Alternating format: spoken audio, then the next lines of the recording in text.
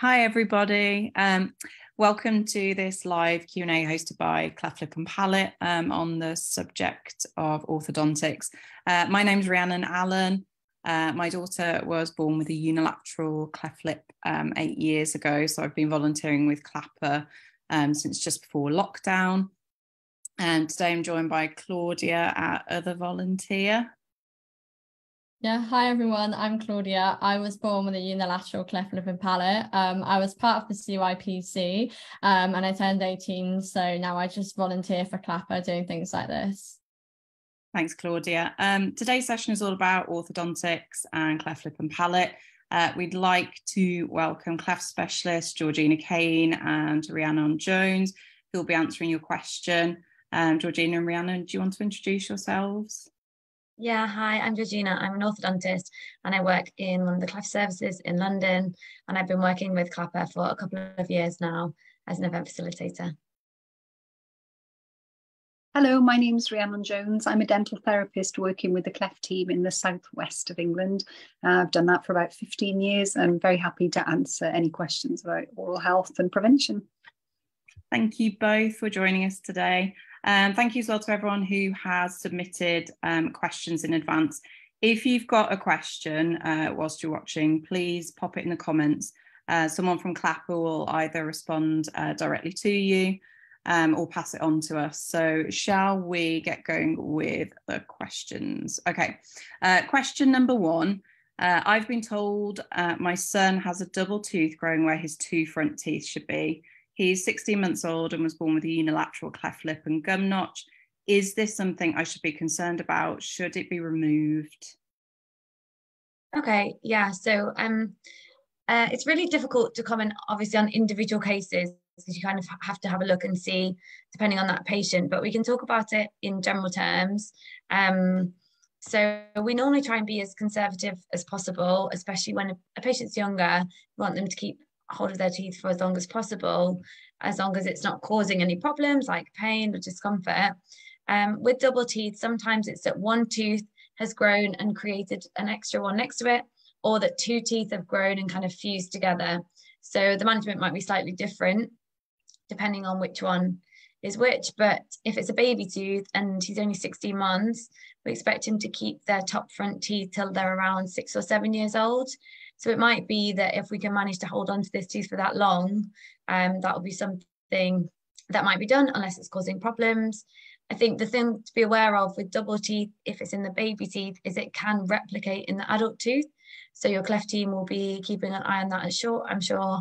And at some point, maybe take an x-ray to look into this and monitor how the adult teeth come through and then manage those if there's any problems. Um, in terms of management of filling the little notch that comes through, you can add a little bit of composite filling to smooth off that edge or reshape the tooth as needed. You should normally have as part of your cleft team a restorative or a children's uh, specialist cleft dentist. So they normally be the ones who can make those plans and um, give you a kind of full explanation of how they plan to manage it. Um, okay, so the second question is Are teeth more painful for cleft children? Our two and a half year old daughter seems to have suffered far more than her twin. Okay. Um, they're not necessarily more painful um, just because there's a cleft. Um, we know each patient has very different responses to pain. Some are more temperature sensitive, so you know, with hot and cold. Um, and even patients, you know, in the same family, you might have siblings that have the same diet, use the same toothpaste, have different responses to pain or soreness. Um, it may be that they were just teething a bit more uh, when those teeth were coming through than when they're a bit younger. And sometimes, if a tooth is quite displaced, so out of its normal position, um, which may or may not be related to the cleft, sometimes that can cause a little bit more irritation or discomfort for the patient. And that might be something that's noticed and if you notice anything like that then just highlight it to your your cleft dental team and they can talk to you about options. Yeah i, I would only add to that um, in my experience sometimes when people have had their lip repaired the soft tissue and nearer the teeth is more like the sensation of the inside of your lip than gingiva or gum that can normally handle it. So if it's pain that you feel when you're trying to brush it, it might be worth moving to a much, much smaller toothbrush. They even make them with just a few bristles on them. So you can be a little bit more specific on the, on the area. And just from my experience, sometimes I think when a child says it hurts, it's hurting when they're brushing and it's more that it's hitting the area of the surgery rather than actually the gum. That was all I was would add there. Brilliant. Thank you both. Um, question three. Uh, my son is three years old. He's had both surgeries, but still has a small hole in his mouth, which now has a tooth cutting through. Um, is this normal? Should I be concerned? What will happen? Yeah, so the, the baby teeth kind of want to come through where they want to come. Um, and we can't necessarily always control where the baby teeth come through, but we can manage that. And then more commonly, um, once he's got sort of the adult dentition or teeth, we can then look to um, align these or straighten them with braces as and when they come in. Um, so as long as it's not causing problems, I wouldn't worry too much about it, but you can always obviously have a check with your team to make sure and be reassured on that. In terms of the little hole in the mouth, so you can get what's called a fistula in the palate, which some um, sort of cleft people may recognize. It's just a little hole in the non-bearing, non-tooth-bearing part of the mouth, so more in the palate or the roof of the mouth. Um, it doesn't normally have an effect on the teeth, and we should normally be able to work around it.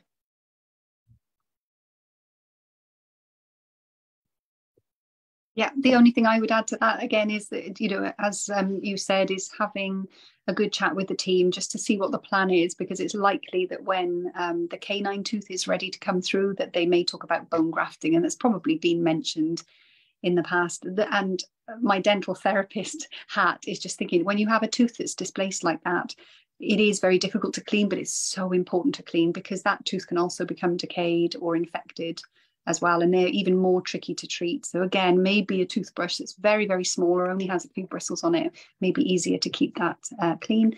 And just watching the diet so that your children have enough of a break between food because snacking, even on healthy things, can actually be quite bad for teeth because you're never giving the mouth a chance to to rest, which is when it becomes a bit more acidic. Thank you. Yeah, thank you guys. So we've had a question come through on the chat, um, which is what toothpaste would you recommend for a three-year-old who brush their teeth every day but teeth do look yellow? Rhiannon, do you want to take this one? Yeah, happy to. So um, a child under six tends to have a slightly lower dose of fluoride in their toothpaste. So it's going to be around a thousand parts per million, but on the back of the toothpaste tube, you'll see that as abbreviated as ppm. And most children's toothpaste do have that level of fluoride. And when they get to about six, they go up to the adult dose of fluoride. Your team may say different if they're used to looking after your child and they feel that they're a little bit more at risk. They may recommend swapping to it sooner. Um, when you say the teeth are yellow, generally speaking, baby teeth or the first set of teeth are quite white. So if they're yellow, I'm wondering what might um, be causing it, whether it's something in the diet perhaps, and whether they're happy letting you brush their teeth as well. And perhaps if they're pulling back and not alight and, and enjoying it, that might be that you're not being able to clean everything away at all. But the fluoride in the toothpaste is vitally important because it's one um, medicine. That's usually how we'd explain it to children. It's a medicine that the tooth can suck, suck up, soak up, and really use to keep itself strong. So it's really important that you do have um, fluoride in the toothpaste. And children's toothpaste don't really have much of an abrasive in them like an adult toothpaste would. So they're, they're not designed for stain removal of any sort, certainly. Okay. Um, so shall I do the next question? Um, it was what age should children be seen by an orthodontist for bone grafts? So bone grafts are normally required for children who have a gap in their tooth part of their arch, so the alveolus, and often referred to as an alveolar bone graft, so the tooth-bearing part of your gums. Um, normally, patients are seen in the cleft service around five years, because that's when you have your five-year review. So the orthodontist will try and see them as well at that time, just to kind of get a overall steer at that appointment in terms of timing and how we can plan over the next couple of years for the bone graft if it's required.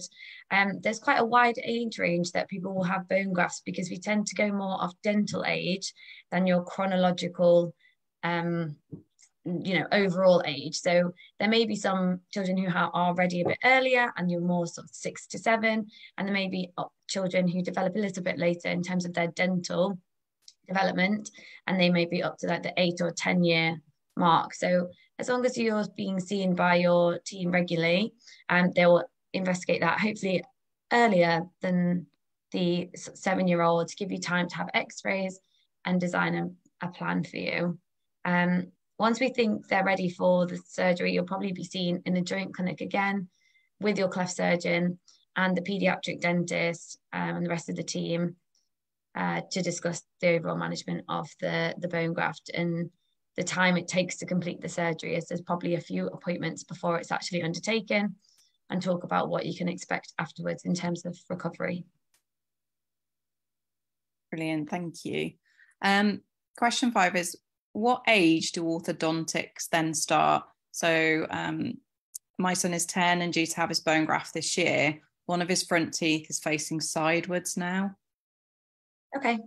Yeah. So again, we tend to recommend braces or orthodontics regarding their dental age and their development of which adult teeth they have rather than just their age in years. Um, so once this his son has had the bone graft, um, we would need that to heal for around th- three to six months, take an x-ray to check it's okay and that the team are happy with it. And once it's successful and they're happy to proceed, you could consider maybe some sh- short course of braces or orthodontics just to straighten up those front teeth, particularly that one that might be causing a bit more concern if it's facing sideways because you're likely at 10 years old to still have some baby teeth in other areas of your mouth, you might not be able to have your full course of braces. So we try and keep it to a shorter course and just straightening up maybe the front teeth or just leaving it until you're ready to have the, the full set of braces. And it's all completely dependent on the individual patient, how much it's bothering them. Are they willing to wear braces? Do they want to wear braces? Are they going to be able to keep the braces clean?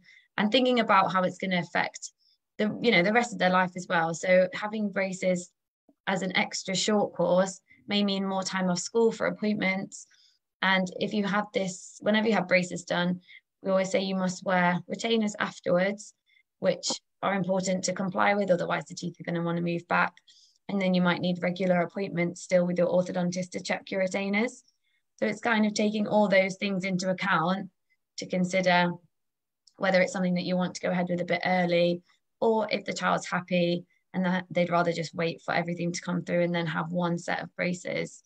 Um, some children are completely happy and that the twisted front teeth don't bother them too much and then it's completely fine to wait until they're ready to have the the braces and then some have them early because they have a bit more of a concern and they may still need a second course of braces later.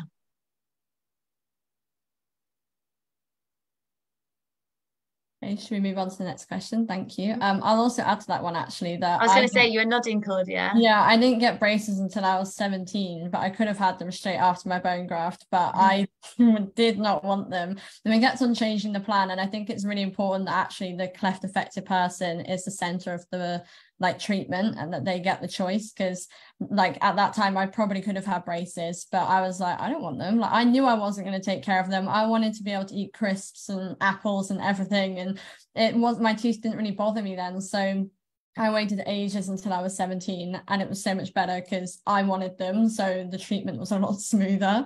Yeah. Um, so yeah, I definitely just recommend also speaking to your child and see what they want to do.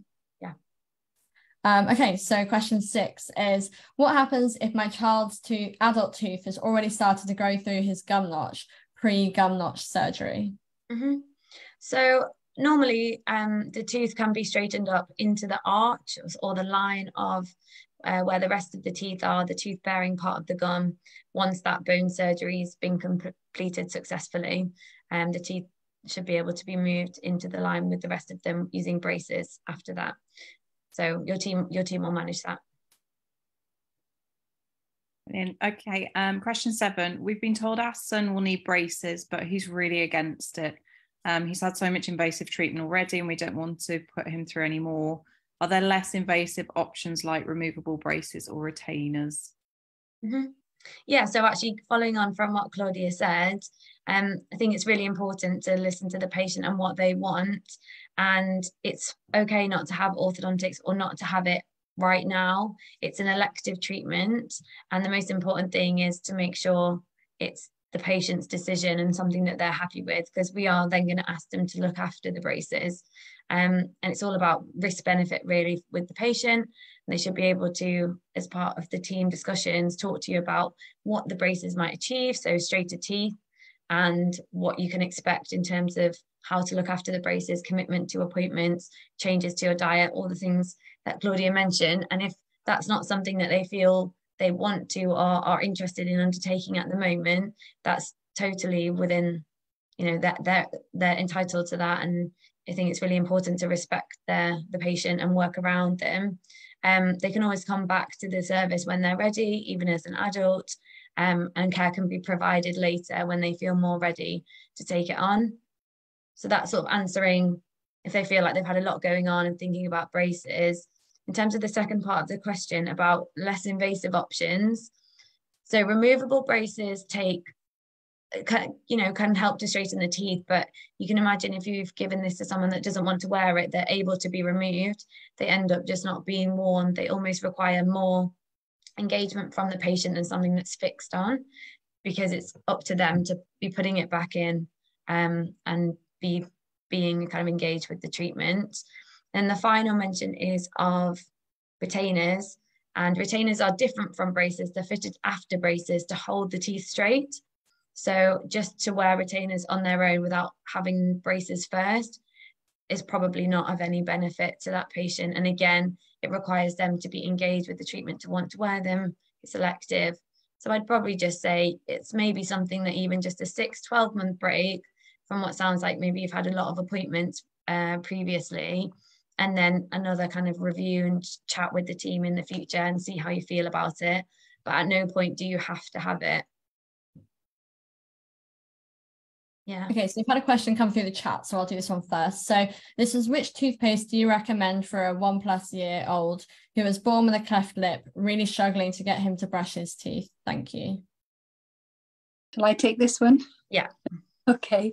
So it, it can often be um, the flavour of the toothpaste. So you definitely still want a, um, a fluoride toothpaste, about a thousand parts per million but you want a, a, tiny amount. So we don't put the same amount on a toothbrush for a baby as we would for ourselves. So we're talking about a small pea sized amount. That's plenty for the number of teeth that your child will have. And if you want to, you can sort of smudge it into the bristle so they're not getting a full dose of a, a big blob of toothpaste.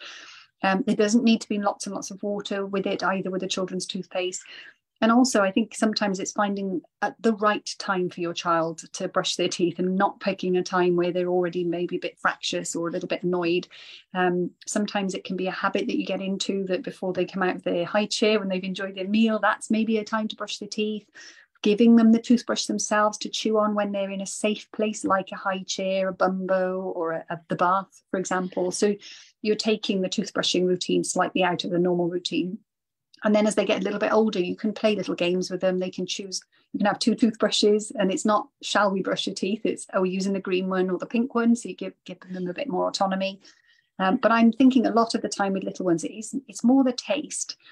And if you have um, a fistula as um, you know we were talking about earlier there is the possibility that the toothpaste is actually getting up into the nose as well which if we took a blob of toothpaste now and stuck it up our nostril Nobody would like that, and it stays there a long time. You haven't got any way of getting rid of it. So it's worth thinking about are you putting too much on and going through a couple of the different baby toothpastes that are available. Maybe find one that isn't minty and doesn't sting.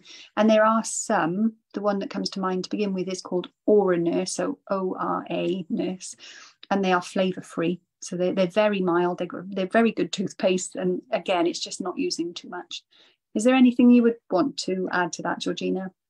No, I think you're right. I, I definitely would maybe recommend the flavor free ones or obviously changing up the routine and then changing up the kind of equipment that you're using and see if seeing if that makes a difference. Just coming out of that old routine that might not be working so well and finding a new way to make it part of their daily routine yeah there's a lot of good um, videos and little things you can find on youtube that make um, make it a little bit more fun Um, there are lots of songs you can sing. They drive me potty because I've sung them to my own children for so many years. But even down to little things like a, um, just a cheap pair of sunglasses in the bathroom, and you've got to brush your teeth so well that mummy needs to wear sunglasses to look at them because they're so bright. You know, make them proud of having clean, healthy teeth. But yeah, what what works one month won't work the next month. So as most mums, you have to be ingenious. Okay, thank you guys. So the next question is My son is 13 and about to start his orthodontic journey. Do you have some before and after pictures to reassure him that he will one day have straight teeth? Yeah, so so most services or departments should be able to show pictures of the type of brace that they're going to be using and then possibly before and after shots of patients with similar issues and their similar outcomes. Um, it does depend on what type of brace you have for us to recommend which photos. We normally recommend the British Orthodontic Society. They have some leaflets, such as one on fixed appliances, which are the train track braces, which are quite common. Um, and in that leaflet, there's a picture of a patient who's had before and after braces. This is not cleft specific, um, it's for all children who are going ahead with braces. But what I can do is pop the link for that on the chat, and then you can access those resources um, through there. They're quite useful and there's different ones depending on what type of brace, so you can match it to the one they're having. Uh, brilliant. I've, I've got just a question to, that's come through on live chat just to squeeze in for the next one that says, what orthodontic interventions are needed for a child with a severe protruded premaxilla? Okay. Um, so again, we don't have the, the age of the patient, um, so it's it's probably over the course of their kind of journey from birth to you know to adulthood, as there may be a number of um, orthodontic procedures required, starting right from very early babies can have some um, kind of lip strapping, so very early treatments depends on where you work and what what your service offers. Some places do it, some don't then moving on to possibly some having some early braces like we talked about before around the time of the bone graft. Again, some services do it before, some do it after the bone graft to get some type of straightening of the front teeth, though you might not have all the adult teeth through. Then when you get into your teenage years, you tend to have a full set of braces. They might be top and bottom once all the adult teeth have come through. And then instead of that, or as well as that, you may then consider the jaw surgery route, which is known as orthognathic surgery. So it's a combination of jaw surgery and braces, and that's done once you've stopped growing. And not all patients require it, not all patients are interested in having it. And that's the talk kind of for your team. But because we don't have an age, it's difficult to say maybe at what point they're thinking about next, but just to expect over that whole patient journey that there may be multiple times when braces might be required. So those regular appointments with your cleft team are really helpful to keep an eye on any interventions which might help at each sort of stage. Brilliant, thank you. Um, so next question is, does it hurt to have braces put on? Which I feel like I can also answer because I had them for years and I'm the biggest baby known to mankind it didn't hurt me. The only thing that hurt was the tightening slightly, and that was more of an ache than anything. But that's just my two cents. yeah, no, really helpful, really reassuring, I think, to hear from someone who's had them done. Um, braces don't hurt to be put on the teeth. It's actually quite relaxing. You tend to just lie back in the chair, um, and there's a few things going on in your mouth. They might do some washing with some water, a little bit of hoovering to clear that water up, and a bit of air. There's no drilling, there's no local anaesthetic or injections. It's quite um, straightforward. It's just gluing them on the front of the teeth. Um, it does take about 45 minutes or an hour or so to do. So you can always bring stuff with you, like headphones, to make you feel a bit more relaxed. Um, and yeah, to reassure you, it's not an uncomfortable thing to have put on. But I don't know if you remember, Claudia, the first time, once they've been put on for those first few days, especially, it can get quite achy and a little bit tender. So you just have some pain relief and avoid anything too hard to eat, to be kind to your teeth. And then each time you come every round six weeks to have the braces tightened, again for that day or so after, it might just feel that little bit of tightness, little bit of achiness, um, but it shouldn't be painful. Yeah, No, I was gonna say. I- oh, sorry, no, sorry. Go. It's, Go on. it's okay. You can go. I know I, I had braces as a child and an adult, and the, I, I didn't find it painful, as you say. It's more of an ache afterwards. But what I did notice, um, and probably because I think about toothbrushing more than most, yeah, I couldn't use my electric toothbrush for a day. Mhm.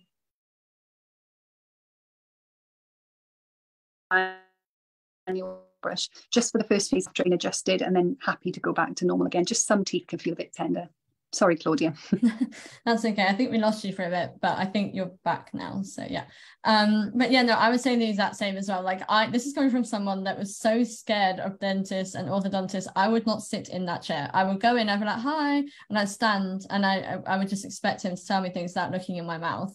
And I was so scared to get braces on and sat in the chair and he I was like, Can you please do it? I'm sitting up, like I don't want to do it. And I lay back and it was like genuinely this is I was shocked that it was actually relaxing in the way that it does not hurt. They don't touch your gums, they don't fiddle around in there. They just literally put like a dot on each tooth, put something on, do something that hardens it on, and then just put a wire in. And I was, I mean, I don't want to brag, but I was lucky that I didn't get any pain afterwards either. Like I had no aching. And I was shocked. All my friends, like it hurt so bad. And I was like, oh, not for me. I was fine. Um, so honestly, it you will think it's really, really scary. And the minute you're sitting down in that chair, you will still be so scared. But you lie back and actually the orthodontist is somebody really good. You can ask them to explain everything for you Yeah. and take it at your own pace. Like I keep on saying, you're in control of your treatment. So I just asked him to take breaks as well. Like once he did one, I was like, can you just do one and then I'll know? And they were literally like, yeah, it's fine. So yeah, I definitely recommend things like that. And on the other thing, saying about the um pictures before and after, I think it's really important to note that I really wanted my teeth to look these perfect pearly white teeth that you see everywhere that's got every single tooth. And when I actually came to realize with my braces that my cleft smile is going to look a bit different than other people's, like I'm missing teeth, I don't have the same like alignment of all of them. But after my braces, I'm actually really happy with them just being straight and having like a set of teeth, even though there's some missing. So it's maybe not going to look what you see in the photos of Yeah. what your friends have, but Exactly. actually it's going to be fine for you. yeah everyone's different everybody's got different shape teeth size of teeth color of teeth so i think those pictures can be helpful but again that's not a blueprint of exactly how you'll look you can just see how braces move things so you get a bit of more of an understanding of where someone kind of comes from um Yeah. yeah, that's really helpful claudia i think Yeah. i think the other thing to say on that as well is um, I think everyone have again quite very different experiences of discomfort. So you might be speaking to someone in the school playground and they say, "Oh, mine hurt for a day," and someone else says, "Mine hurt for a week." And the people, if it's a bit more tender, it can be more worrying. And that's just just to reassure you that everyone's just slightly different and responds slightly differently. Um, but it's yeah, it should never be anything more than kind of an ache and a discomfort. Yeah, and you might find that throughout your journey, you'll change what you want. I turned up and I was like, I want this, I want this tooth shaved down, added one here, and I ended up being like, I'll just get them straight, and that's fine. So you might change, and that's also fine. Yeah. Um, okay, so we had one come through on the chat question that I'll do first. So that is, what age do we get told if a child needs to have a bone graft surgery? My child was meant to see the dentist at the cleft team yesterday, but has now been pushed back till August. Will I be told then? Did they mention the age of the child now? Um, I don't think so. Just Okay. what age? Yeah, what age do we get told if our child needs a bone graft? So it, it so a child needs a bone graft if the the cleft has gone through the tooth bearing part of the gum. So the the arch where the teeth all lie, if there's the gap in that area, then they would need a bone graft. So your team should be able to individually assess the patient um, and then advise you on that. If there's any, if they're not sure, then when the patient's at the right age, they might take an X-ray. But I wouldn't I wouldn't worry too much if you've have a, an appointment coming up in summer um, hopefully that's a, a chance that you can confirm that with the team and then they can make arrangements for that. Okay, so the next question is Will braces affect my son's speech? He's worked so hard at the SLT to speak clearly. I don't want him to feel like he's moving backwards.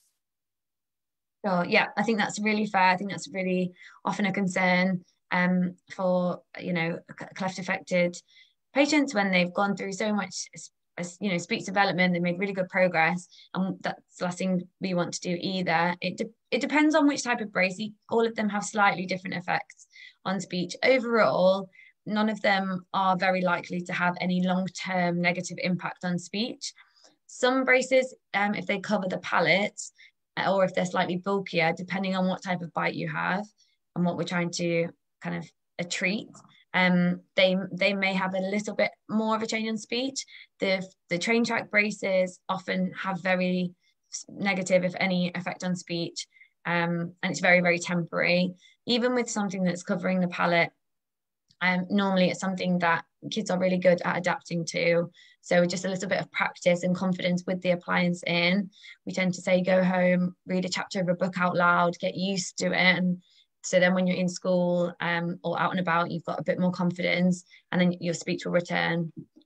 Um, anyone else to add anything? No, that's great. Thank you. Um, I've got another one that's come through live chat for our next question that says, um, my three-year-old boy who was born with a cleft has his um, canine tooth through, but also another tooth that's coming behind his front. What should or could happen with that? Mm-hmm. So again, it will be an assessment with your cleft team. So probably your um, pediatric children's dentist or restorative dentist as part of the cleft team. It's important to count out which teeth are there. So if something's missing, if it's the normal amount of teeth, but one's in a different position, or if they've grown through an extra tooth. All these things can happen. Um, depending on that, then they will decide the management. I think again, if it's a, young patient, it's not causing them bother. I don't think you'd want to be jumping in to t- take out extra teeth if they're not causing them problems, but it might be formed as part of their overall plan or as part of another procedure. Um, so yeah, I would just get it reviewed by your team. I think it's just important to count out which teeth are present so they can work out whether it's part of his normal teeth in a different position or an extra tooth. Brilliant, thank you. Um, the next question then is Are there any tips for dealing with braces, pain relief, or brushing, and so on?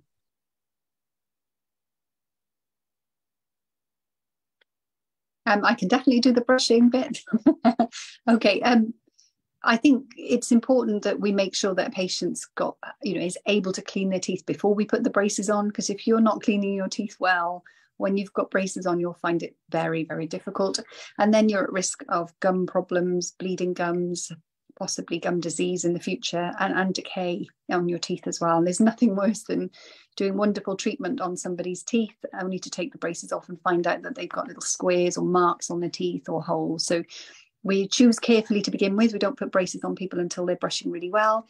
And then ideally, once you've had the braces fitted, it might be the orthodontist, it might be the nurse working with the orthodontist, or they may have a hygienist or therapist in their team.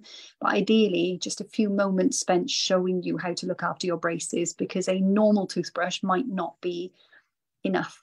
And even when you do use a normal toothbrush, you've got to really think about brushing your teeth twice. You almost want to come along from one side across to the other above the braces. So you're cleaning the bracket and the bit of tooth between the bracket and the gum all the way along. And then you come below the bracket and you come all the way along again, the same tooth, but you're now doing the bracket and the bottom part of the tooth. So it does take longer to look after your teeth.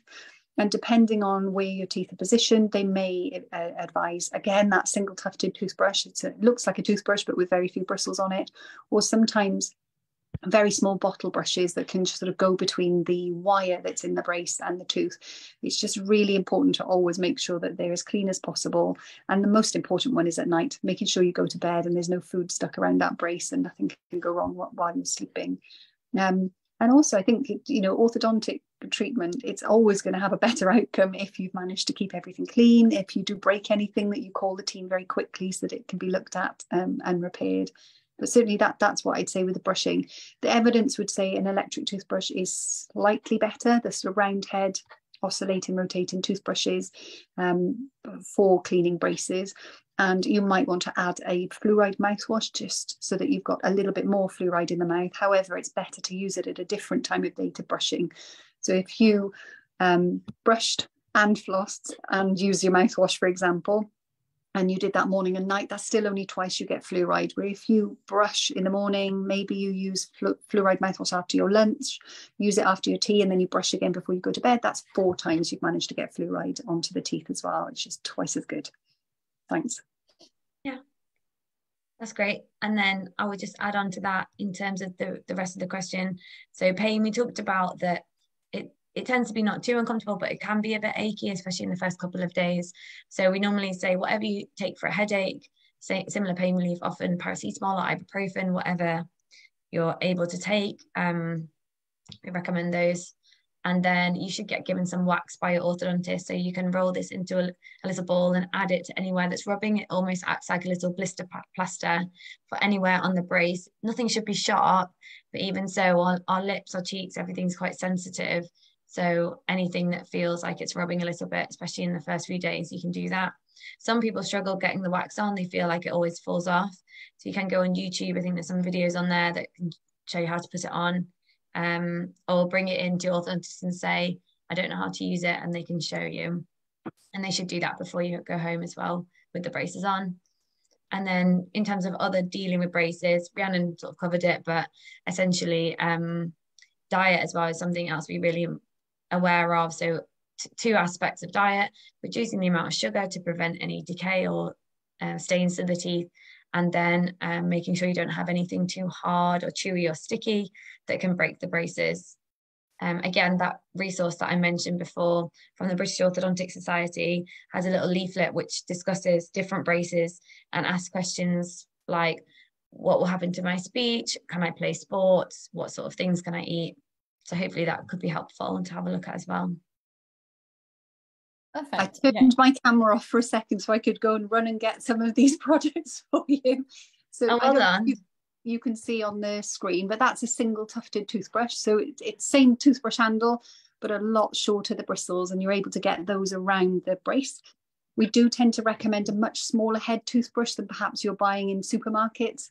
So it's worth looking. You really don't need more than about two and a two or two and a half centimeters worth of bristles. But if you go to your average supermarket, they, they look more like they're meant to clean the treads of your walking boots. So small is much better to fit around that.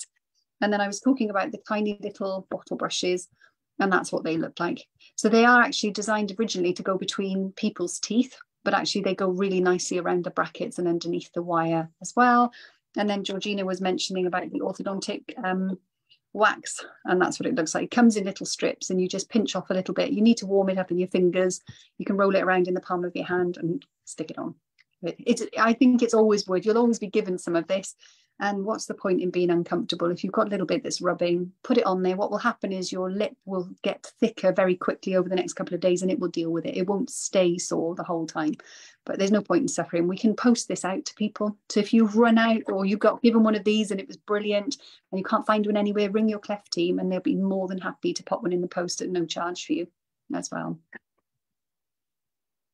Yeah, I think I'd also add to that. I remember when I had braces, I hated cleaning my teeth. It takes so much longer than when you just average like so I used to I have those little brushes. I don't know, I think they're called TePe brushes or something. Yeah. I used to line them up in like smarty colors because you get like red, purple, yellow, green, all of them. And I used to like pretend that they were like smarties and like pick one up because you can't really have chocolate when your braces on. So I used to pretend that they were like the chocolate that I got. And I used to like take time. And that's like something that I used to do just like get me through doing it because it is long and it's boring. And I used to like try and listen to music and stuff because I know there were days where I didn't do it before I went to bed, but I tried to. So doing things like that to make it more fun and enjoyable, even when I was 17, was something that helped take them like just the boringness away from it. Absolutely. And like you said, you don't even have to be in the bathroom. I think most of us brush our teeth in the bathroom because you're using toothpaste, you need to spit it out. But but things like the little brushes um, and the single tufted, you can just do that while you're sat watching the TV. And, and the little brushes even come with a lid. So you just take the handle off, pop it on as a lid. You can wash it when you go to the bathroom later. And I think when you're distracted by reading or watching the TV, you'll do it for a lot longer and they feel amazing. When they feel amazing, you know it was worth doing. And and when you come and you see us smile at you as well, you know it was all worth it. okay, so we've got a question that came in online. It's quite similar to a question we had earlier, but I think it's useful to talk about. So my son, who is three, was born with who was born with the just the cleft lip, and his two teeth under his cleft go inwards instead of flat in front. Would his second lot of teeth come through the same way, what age will they get braces? So it's it's really hard to say if a tooth come through in a certain position. Um, whether the adult tooth will definitely follow that. You can imagine how much growing they're going to do in general between now when they get the adult teeth. The top front ones tend to come through between sort of six and eight years old. So all over that time, your dentist will be monitoring them come through. Um, and then at that point, once they're through, really, we, that's only when we're able to assess their position. It may be that they don't come through in exactly the same position, but they might not come through straight. And then you could think about braces. And as we said before, it might be something, if it really concerns them, that they could have fixed a little bit earlier than their full set of braces, which they'd have as a teenager. So once the teeth are down, they can be moved with a brace, the adult teeth. It kind of depends on which other adult teeth they have because you need stuff, you need teeth to attach the brace to. So it'll just be something that your team reviews and manages with you. And most importantly, what, what bothers, you know, your child, because if he's not got any concerns, we don't want to jump in and do treatment because as we talked about, we're probably not going to get a good outcome and it's it needs to be on their terms. Okay, perfect. So the next question we've got is my 17 year old is really self conscious about her braces as all of her friends have had theirs removed already. She doesn't want to smile and often covers her mouth to hide the braces. How can I help her feel a lot better? Help her feel better about wearing braces. What happens if she wants them removed early? I would just quickly add to this one because I got them when I was 17. Um, I was kind of late to the party as well. And I was like kind of grateful for finally getting them because I'd seen an orthodontist for so long. But I was shocked at how my friends just didn't care. Like, as in, I don't know about like her friends and stuff, but I would say for my friends, I walked into school and I was really worried about it because I was like, everyone's had them you know you're like turning into an adult you don't want to have braces on it's like quite a young thing and i walked in and i was like oh god oh god and everyone was like oh like how's your day been? How's this? And I was like, oh yeah, fine. And then they're like, oh my god, you got braces. I was like, yeah. And they were like, okay. And then it's kind of carried on with your day. Like people might acknowledge it, but after that, like it's kind of cool because you can talk to your friends about the colors they got and different colors. And oh, like at Christmas time, you get green and red, and like you can like customize them. It's fun. So I think like it was just trying to find those little things that I think if you can find them joy or like the good things about braces it definitely helps. And i think it is difficult when you're a cleft you normally are either early to the party with things or really really late. But like for me i just think i was really shocked how no one really cared about me that much. They were just like okay move on. So yeah that's what i'd say about it. And I think these days now braces are a bit more widespread in older patients, adult patients. I think that there's there's many adults now having treatment. Sometimes it's they have braces when they were younger and then they wanted to have a, a second set because everything's kind of they want it a bit straighter again.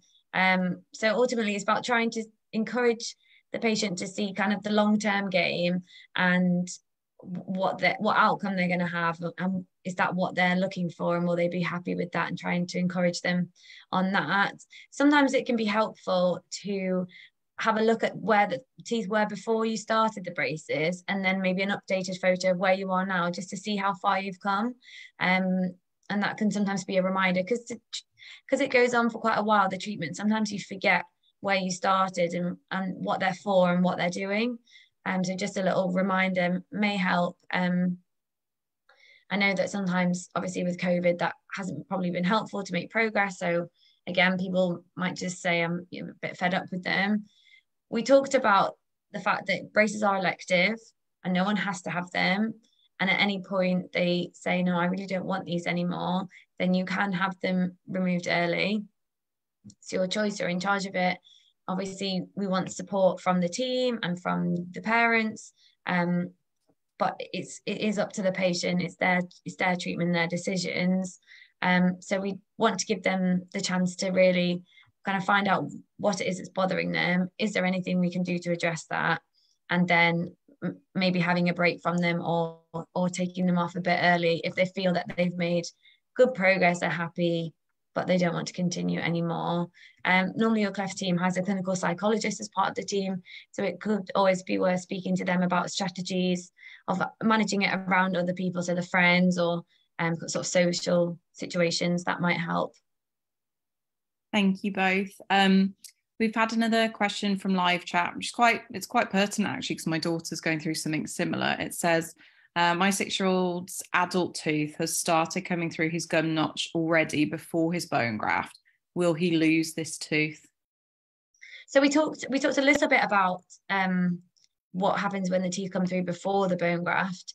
It, it depends. It depends really on the individual case, um, the position of the tooth, the quality of that tooth, and is it going to affect the surgery or is it going to not be in the way of the surgery? And then they'll be able to move that tooth into a better position once the bone graft's been done.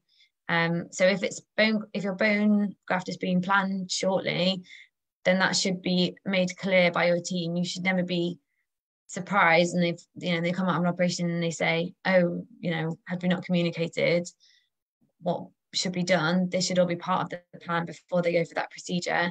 So it, it does depend on what they're having done and where the tooth is and which tooth it is and the quality of that tooth.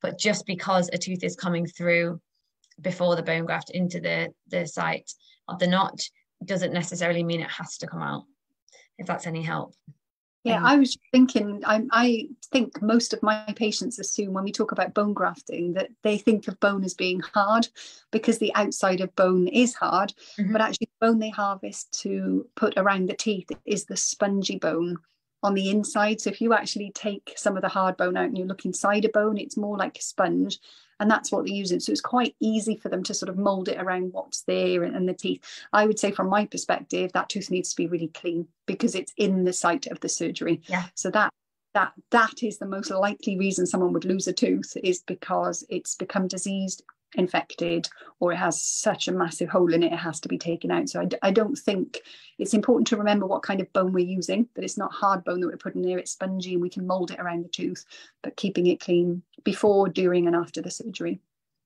That's really interesting. Thank you. I hadn't actually thought about it like that before so no i think people hear bone and they think yeah hard, definitely. that's not what we're using. No that's great. Thank you. Um okay next question is is Invisalign available to adults on the NHS? Um, they appreciate it might not be suitable for all cases. However, where suitable, whilst the high initial cost may be higher than fixed braces, it requires less frequent appointments with the orthodontist during treatment, uh, thereby freeing up clinicians' time. Also, if the cost of Invisalign is prohibitive to the NHS, is there an option for patients to pay for it under the care of an NHS cleft team, possibly? Mm-hmm. This is a really good question, very topical. And um, there's a couple of parts of it, so I'll just break it down. Um, Invisalign is not likely to be available on the NHS in a UK cleft service. Um, these types of devices are used in specific circumstances, tends to be in adult patients, as mentioned, um, privately and possibly in more straightforward cases. Um, the most important thing is that your orthodontist will try and choose the appliance which they think is most suitable to you, not just to free up their own time or, or make it easy for the service, but what's going to deliver the best outcome. Um, so the type of fixed appliances that we often use, which are the train track braces, have a very wide use, very a strong research for a long time and deliver high quality outcomes, which we know can be more predictable um, and precise in terms of moving the teeth and then how they look afterwards. So that's why we would aim to often use these braces as we have the most control because we want to get you the best result.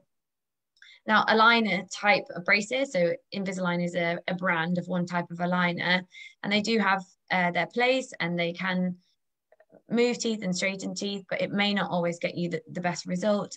And it depends who's undertaking the treatment. So sometimes these are undertaken by non orthodontists, um, just dentists in general practice. I think it's really important, whoever you're undergoing treatment with, that you're aware of their specialty and what they're able to deliver.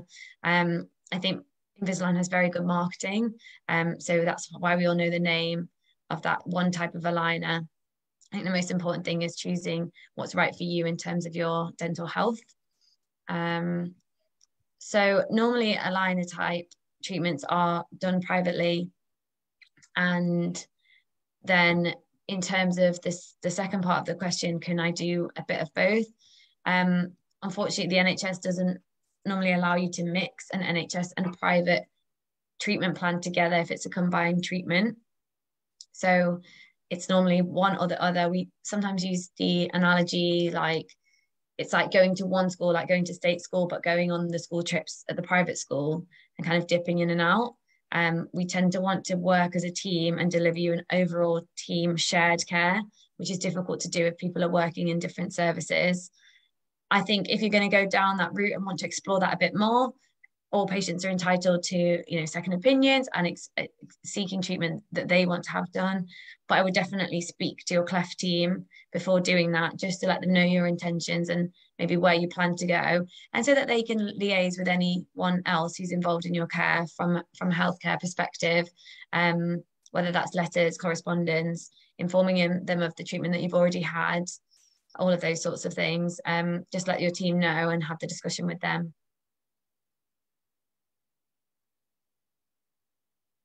Any anything else to add to that or any anything not clear not sure. Okay, so we move on to the next question? So we've had one come through on the live chat again. Um, so is it common for children with clefts to have an underbite? Will this be noticeable from an early age or noticeable after the bone graft? Yeah, so when we talk about underbite, often what we're referring to is the the kind of lower teeth biting ahead of the top teeth. Um, and it can be more common in uh, cleft patients because of the surgery that they've, they've had to their top jaw means that sometimes the growth of that jaw is a little bit restricted or sometimes it's just part of the, the family history and that their lower jaw is a little bit stronger as they grow. So it's likely as you grow, your lower jaw grows for a bit longer than your top jaw. So it may be that any underbite you have, if it's mild, may kind of increase towards the end of growth. But as we know, everybody grows differently um, and to very different extents. Sometimes we can gauge it through family. So what what kind of mom and dad, um, how did they grow? And looking at that to give us a bit of an indication. Um, so sometimes they can worsen, but sometimes not. And then depending on how severe it is or how much it bothers the patient, may steer them towards just having braces or having a combined braces with jaw surgery to have movement to that top jaw to correct the underbite. And then what was the second part of the question? Um, it was something about the bone. Uh, yeah, bone will this graft. be noticeable from an early age or noticeable after the bone graft? Yeah, so it depends on depends on how the individual patient grows in terms of it being noticeable from an early age. Um, it may be something that isn't noticeable at an early age, but as everyone goes through that high school teenage growth spurt, it may become a little bit more noticeable. And normally the bone graft isn't changing the positions of the jaws or changing the, the bite. It's just it's adding bone where where it's missing. So it shouldn't normally have a strong effect on the what we're referring to here is the underbite, which is correct term is reverse overjet. So you might sometimes see that on letters or hear it in the clinic. And that's just that sort of um, discrepancy front to back. Um, so we tend to call it something different if you hear your your team using different terms. Perfect, thank you. Okay, so the next question we've got is um, actually quite topical. Um, I've been reading about jaw surgery and about how teeth need to be moved into position first. Does this mean they'll be out of alignment until I have surgery? And isn't this really uncomfortable? That's a really good question, a really fair question. So when you're having, if you go for the jaw surgery approach, it's combined braces and surgery. We want to move the teeth with the braces into the ideal positions for after the surgery's been done. So it's more about tipping the teeth front or back. It might be that um, that underbite that we're referring to, the reverse overjet, can maybe become slightly more prominent before you go ahead for the jaw surgery. Having said that, start from where you start, the teeth will always be straightened up with the brace, even if you're going to go for the jaw surgery. So normally patients don't mind too much that they've got a slight change in the uh, position of their teeth because actually they're looking straighter, so they're they're still happier, um, and they're not moved into any sort of quite strange positions that you wouldn't be able to manage. If you're having jaw surgery, it tends to indicate that there is a discrepancy between the jaws or something that's ideal to be corrected. So you probably actually adapted really well so far, eating with maybe a slightly different bite than you were planned. So you're very much likely to just be able to adapt to the teeth moving with the brace. It shouldn't be uncomfortable. You shouldn't struggle to suddenly eat or um, function. I think a really important resource is the Your Jaw Surgery website. Um, again, it's by the British Orthodontic Society, but we'll post a link on the chat. Um, and it has videos of step-by-step patient journeys, which can be really useful so that you can see patients going through that pre-surgery process, what you can expect, what sort of things happen. Um, but no, it's not normally something, it's not normally uncomfortable and they're not normally pushed out of alignment. They're normally just straightened, um, moved in slightly different ways if they would have been if you didn't have the jaw surgery. Brilliant, thank you. I think this is a really good follow-on question. Um, it looks to be our final question as well. Are there any alternatives to jaw surgery? Yeah, so yeah, so jaw surgery is normally done when you've stopped your growth, um, and the team are able to assess you as your your kind of final finish growth. So this is as an adult. Um, it depends on what your concerns are and the size of the discrepancy and what you would like to achieve from the treatment. So sometimes you can have just braces, which may be able to straighten the teeth, they may be able to correct um, any front to back bite that you're not happy with, but not always. Um, sometimes you could have just upper braces if you want something more simple, which can straighten the top teeth. Might be happier with your smile and then not have to go down the route of the jaw surgery approach, which is obviously a, a bigger thing to undertake and should only be if, if something if you're concerned about. Um, it depends. It depends on what you want to achieve and the type of bite that you have. So it's all individual. Um, and I think your team will be able to tell you if you don't go for the jaw surgery approach, what you can expect to happen. And if you do, what would the outcomes and the expectation would be. Um, so there's there's there's other alternative options, but it's quite dependent on what you want to achieve. And there are cases where, unfortunately, if you want to have your your top teeth biting over your bottom teeth in a certain way, that might be the only option to achieve that. So if you don't want to go down the surgery approach, we'd have to explain, depending on your bite, different ways of of being able to do some treatment, but accepting possibly some compromise.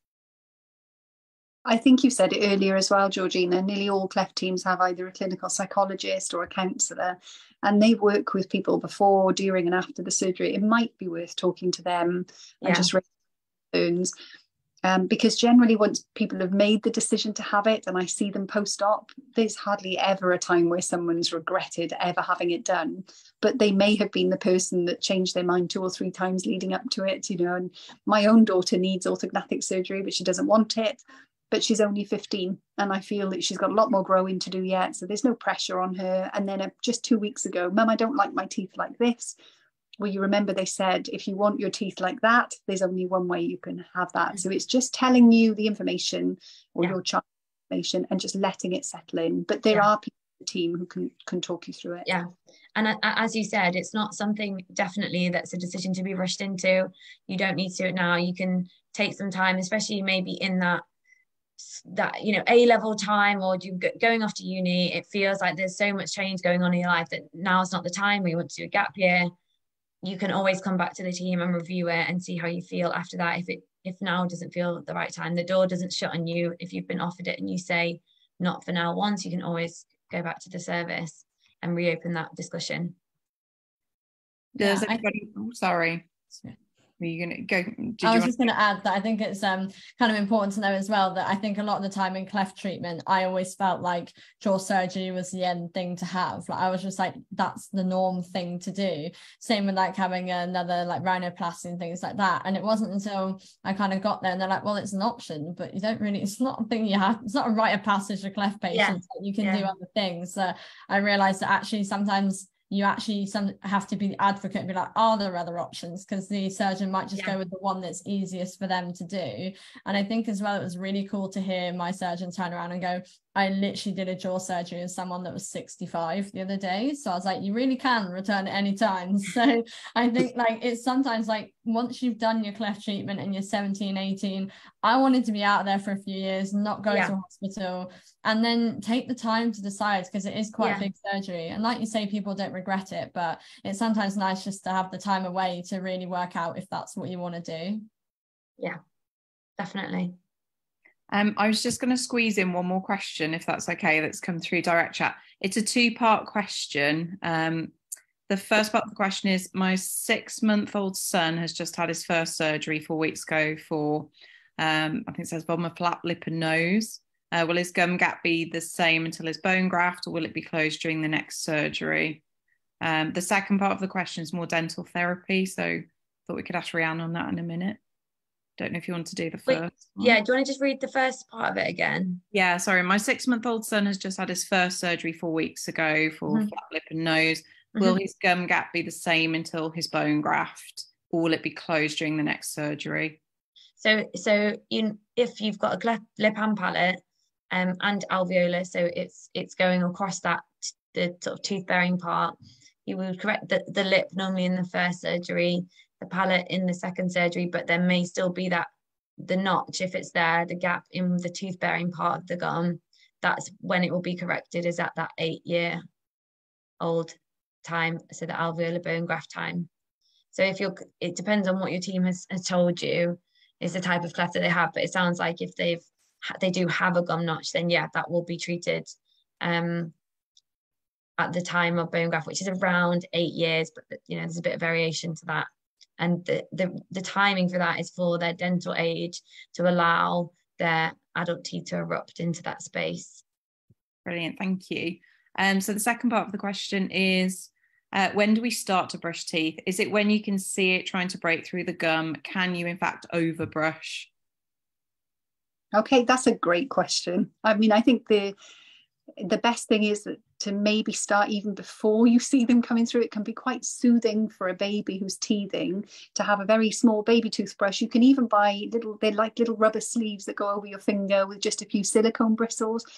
Um, but just to, to, sort of rub their gums, they really enjoy it because these teeth are trying to push through. They almost have a sort of itch to them that you're scratching by cleaning them. But it also means when those first teeth come through, they actually are quite familiar with having something put in their mouths regularly throughout the day. Um, and just to reiterate, a tiny amount of toothpaste for a baby. The baby toothpaste only have about 500 parts per million of fluoride in them. And what we're trying to avoid, and the reason it needs to be lower, is because babies tend to swallow it. They don't have the ability to spit stuff out until they're quite a bit older.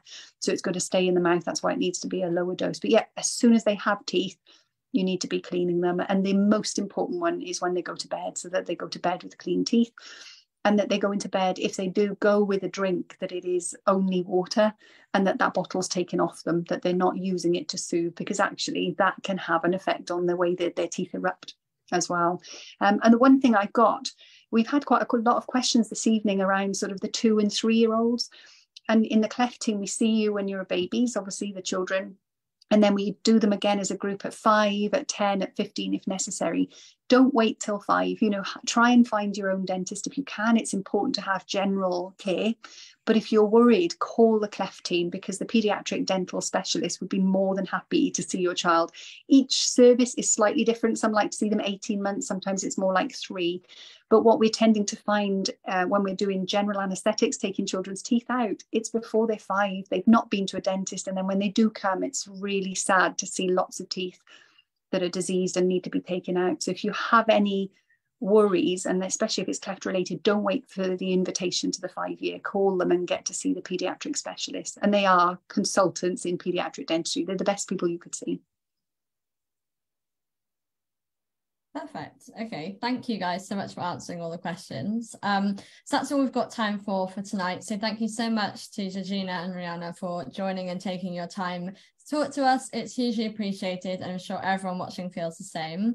Thank you as well to everyone who's joined us online. This video will be available on CLAPA's Facebook page straight away, and a subtitle version will be posted on the CLAPA's website as soon as possible. If we didn't get around to answering your question in the chat, remember you can get in touch at any time at info at clapa.com, where Clapper staff can help point you in the right direction. So thank you, everyone. Thank you. Thank you. Thank you.